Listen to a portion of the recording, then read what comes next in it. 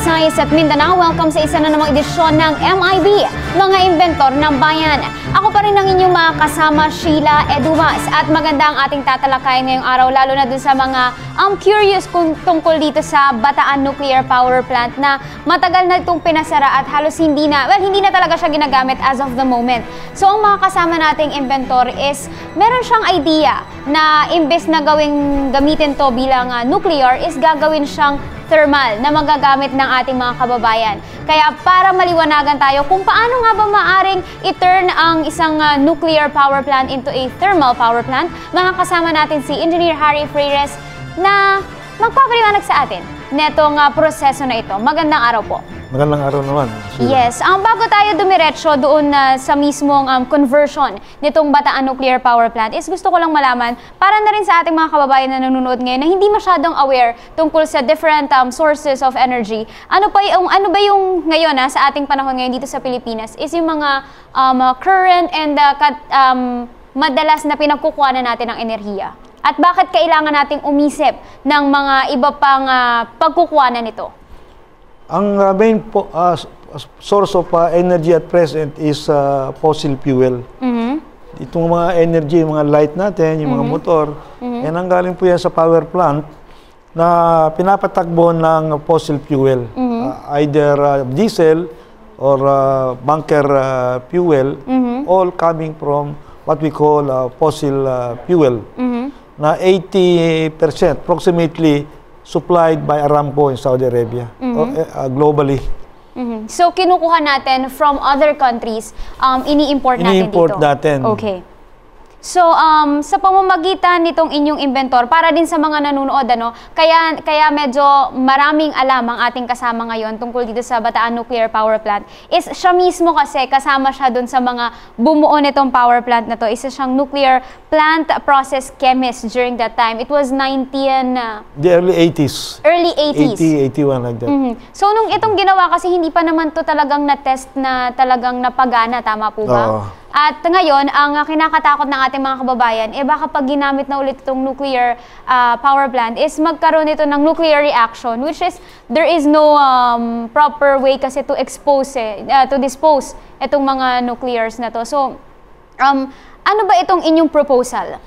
Ang uh, proposal na ito na I was suggest it was uh, I was advised by Malacanang Mhm. to make a formal letter to uh, to uh, President Digong and we have already submitted the letter na we should not run the Bataan nuclear plant as nuclear. Mhm. Okay, that is my proposal. And uh, we should run it as thermal. Mhm. If uh, uh, thermal is the opposite of uh, nuclear, in the sense that our uh, fuel is a fossil fuel, Mhm. and then later on, uh, we will ship to, which is uh, now my invention, I have a US patent on that, into protium uh, uh, hydrogen uh, fuel coming from the light water. Not deuterium. Deuterium is the hydrogen isotope from the heavy water. Mhm. Nung ni-research ko yan, dati ah, deuterium ako, now, mamahal ang gasolina pag deuterium. So, I shifted to protium coming from the light water. So, So, yan po ang aking suggestion kay, ano, kay Presidente. Yes. So how exactly are you going to do that? Babaklasin nyo ba yung mismong um, ah, Bataan Nuclear Power Plant and to turn it into thermal? Or ah, merong ah, simple process na pwede tayong gawin? Napakasimple lang po. Okay? Mhm. Sa loob ng containment building, sa loob ng containment building, yung mataas na yan, Yes. Mhm. Okay, ang laman po niyan eh yung ah, ano, yung ah, pump Mhm. 5,000 horsepower 'yon. And then we have a pressurizer and we have a nuclear reactor na nagpapainit sa primary coolant pump. And then it goes to the steam generator. Pinakukuluan niya yung steam doon na para patakbuhin ng turbina to produce a 650 uh, megawatt. And then babalik ulit sa suction ng uh, primary coolant pump. Umiikot lang po yun, yung laman nito. Ngayon, to convert it into a non-nuclear, into thermal, uh, aalisin natin yung reactor o i-isolate na natin. Mhm. Hindi ba delikado ang pag-alis nun? Hindi pa naman tutumakbo ng nuclear. If it, it was it is already running, delikado. It is already running as a nuclear plant, delikado. I will not dare. Hindi pa naman tumakbo to ng nuclear. So it's safe to go there. Pero pag tumatakbo na yung nuclear, sa loob nyon are all radioactivity. So safe pa naman. So we will uh, replace the nuclear reactor. Lalabas dito dalawang uh, pipe. Sa labas, boiler farm or heater. Yun ang kapalit na reactor. Boil here. Ganun lang. Kasimple. How about the efficiency? Uh, what will be more efficient if it's nuclear or if it's thermal? The uh, efficiency, uh, especially if it is running already on proton fuel, it the ano is more efficient and The- safe. Th- This is the thermal.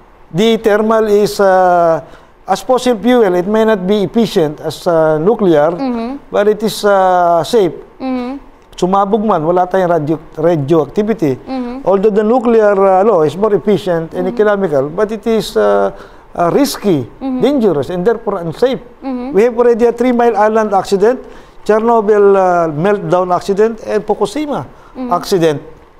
That's why the, the Germany already don't want to they, they want to decommission already all their nuclear plant and replace by a thermal power ah, the uh, plasma power plant na invention nila. Okay? Tayo naman dito, since we are in the first in the world made uh, water as fuel, si Daniel Dingel, tayo ang number one na sa buong mundo, that is our honor, we will run the Bataan nuclear plant finally uh, using light water. Tubig lang po. Meron na tayong kuryente. Yun po ang ating plano rito. Kaya po ng Pilipino yan. Hindi na kailangan ng Amerikano dyan. How about the Ah. cost? Yung uh, gagastusin sa pag-turn something into nuclear, um, gagawin nating thermal. Me- medyo expensive ba siya? When uh, Congressman Cojanco suggested to rehab the Bataan nuclear plant as a nuclear, okay, he uh, proposed a 1B dollar. Mhm, $1 billion. dollars. That is 50B pesos. Ngayon. Ha? So, with the advent of Fukushima, Fukushima accident, okay, one of the worst accidents in the nuclear technology, baka maging 2B na yan. Pero if we are going to convert, convert it into, uh, ano, into thermal, it is less than uh, 1B uh, dollar. Okay, so it's cheaper. Safer and economical. Now, uh, if there is a leak, and I'm sure there will be 100, 100% I'm sure there will be a nuclear accident. Sorry to say, ah. Mhm. Nuclear accident, even if it's not yet working, uh, even if it's not yet tested, the nuclear um, power plant in Bataan. Yes, if we, if we run it on nuclear, may radioactivity Ah, yeah. na, I, I'm 100% sure That there will that be. there will be a nuclear accident. Devastated ng Bataan, not only Bataan, radioactivity will uh, enter the Metro Manila and it will take 100 hundreds of years to clean radioactivity here. Okay, the all the prominent Filipinos will get out here. Sila Ayala, Kuangko, mga mayaman, latak ang uh, maiiwan sa Metro Manila. The center of Philippine civilization. So, uh, and tapatagbuhin mo lang ang nuclear plant for 15 years. You have to decommission it. And we handle the nuclear uh, waste. Problema yan. Okay, saan natin nilalagay yan? So, the uh, cleaning of radioactivity is hundreds of years, and yet the plant, nuclear plant, will run only for 15 years. And then on the economics, the uh, ROI, return of investment, if we uh, run it as nuclear, is 40 years. And yet, uh, you will run it in 15 years. looking at 37%. Several billion uh, pesos. Now, if we run it, if we run it as thermal, the ROI is 15 years. And yet the plant, we can run for hundreds of years. Kita ang Pilipinas. Sikat ang administration ni President Duterte. Pero if it is, uh, uh, if you run it as nuclear, sumabog yan, it will be in the Philippine history that the Duterte administration is a failure. And we don't want that to happen. Mhm. And nasabi nyo na during that time nakausap nyo na dito si Pangulong Digong? Ay, hindi pa. Ah, hindi pa. But- I-stop lang niya. Ah, okay. And how did they react? They, uh, I was just trying to explain my point verbally. I had no no plan to make a written written uh, uh, something uh, uh, a letter to Digong, but the staff of uh, Mr. Bongo uh, asked me three times, and even before we get, get out from the office, hurry your letter. Three times he gave me instruction to put it in writing. So I put it in uh, writing. After uh, three days, I submitted, my secretary submitted the uh, letter. So it is there already at uh, Malacanang, my proposal. So it's up to them to decide on that. But if ever um, you're willing to um, start or cooperate with the government if they want to. Yes, if they approve my idea, and it is beneficial for the Filipinos, for our country, then uh, I'm willing to cooperate. I will even be willing to be to, to head the team to convert that into thermal. Gumagawa ako ng planta ng tubig. I'm, I'm a design and build uh, uh, engineer, industrial, industrial plants. Mhm. So talagang mas for you is it will be more effective if magiging thermal, Thermal, na siya and hindi na nuclear. And at the same time, isa pang issue since na napag-usapan na nga matagal nang nang- na-store yung nuclear doon. So um, meron ba talagang ay is there a 100% um, uh, assurance na when you use it again after how many years na ni-stock mo siya is magkakaroon ng uh, malaking reaction yung nuclear when you open it again. Kasi before um, they are suggesting na ituloy nga daw paganahin ulit. Sayang eh. We Mhm, spent already sayang. 2.1 billion Yes. dollar. Mhm. If and, and kung gagamitin ulit, um, is there for you as an engineer 100% assurance that something you know negative or bad will happen to that nuclear na na store?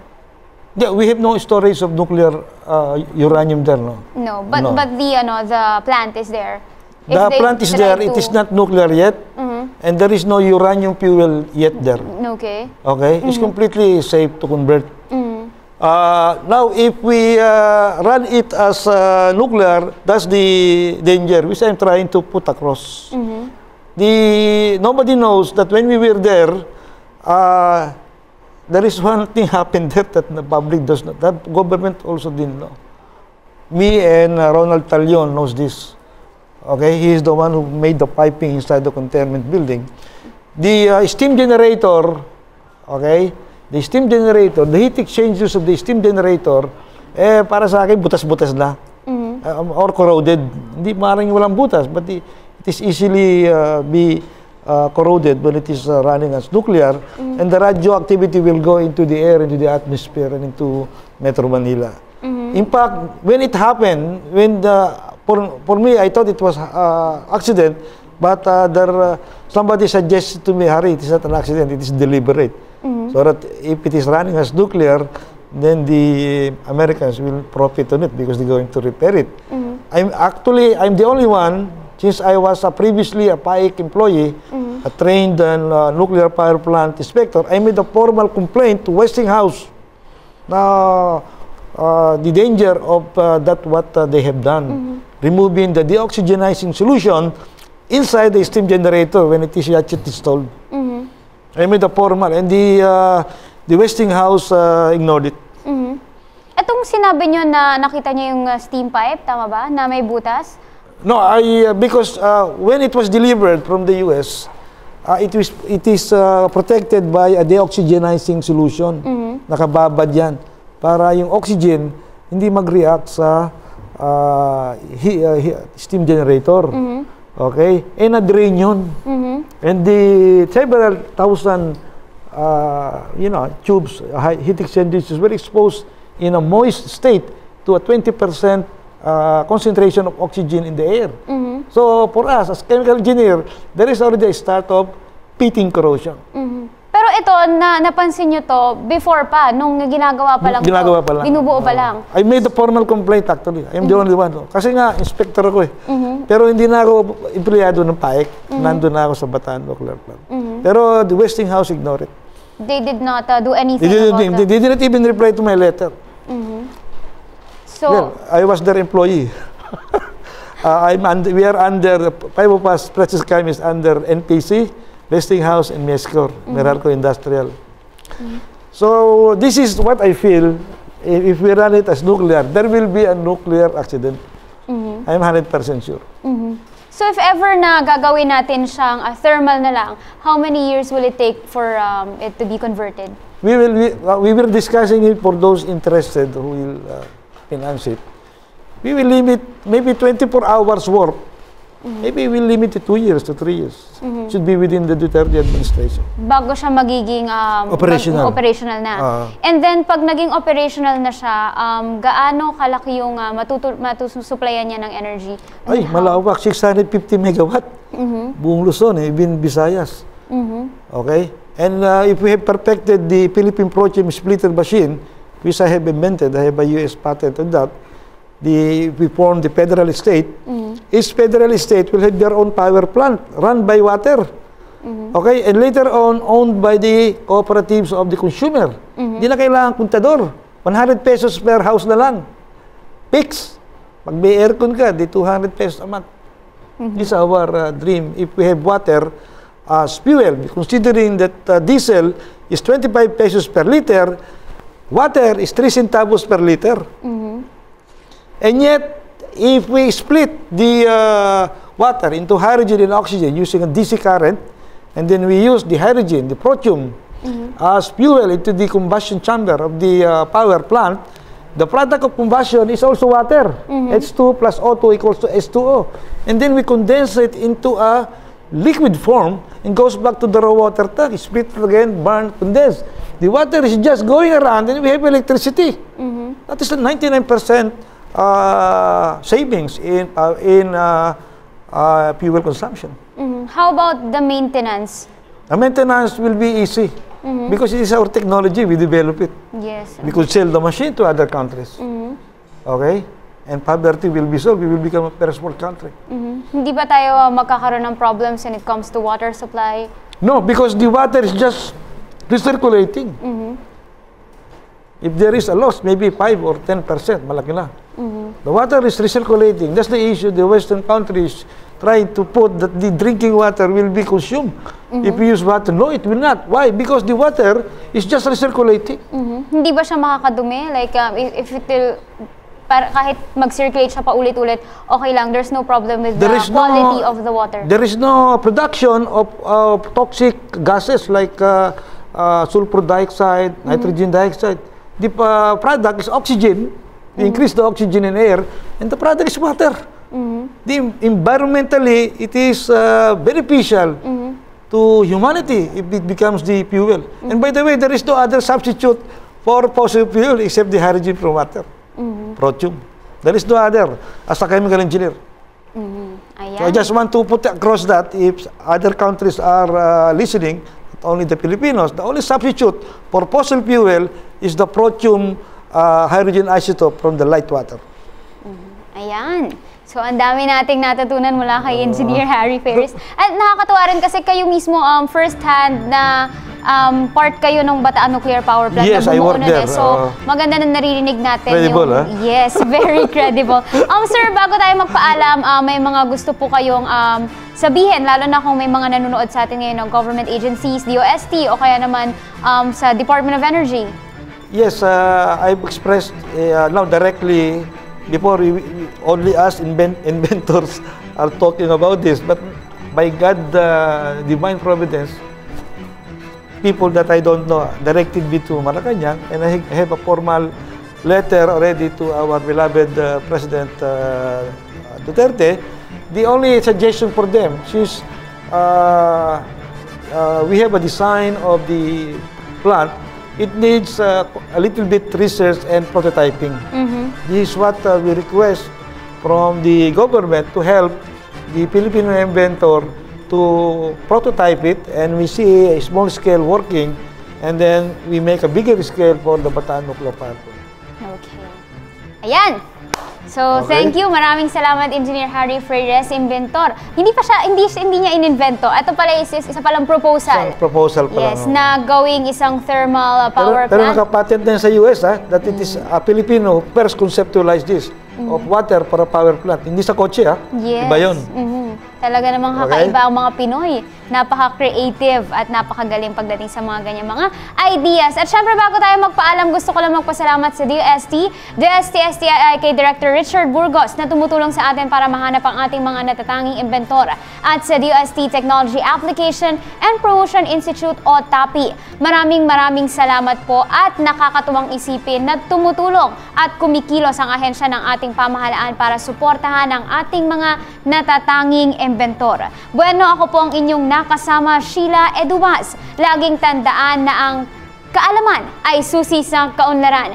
Kaya tuklasin ang galing ng MIB, mga inventor ng bayan.